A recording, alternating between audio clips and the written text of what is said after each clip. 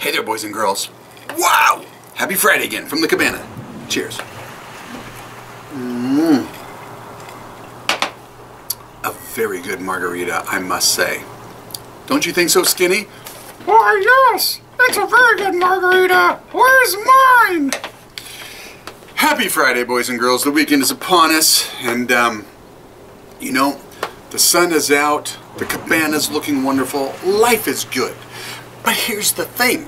Here's the thing.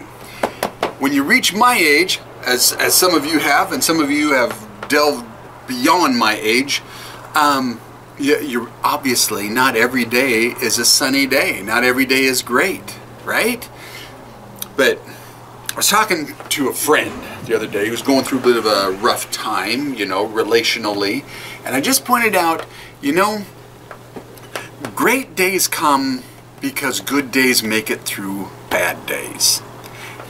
And uh, after I said that, I got to thinking about it. and Went, you know, actually, that's that's true, because um, I must say the the fetching and myself are are in, I would say, one of the best places of all, and and yet, you know. Um, she's dealing with the GBS still, so it, she's in bad days in that regard. But relationally, we went through some bad stuff a long time ago. But when you push through it, you you create magnificent days ahead of you. So I just want to today. I just want to give everyone some encouragement to to not just push through it, but to work on it so that you've got those great days afterwards. So that no matter what life throws at you, you got each other, you got God.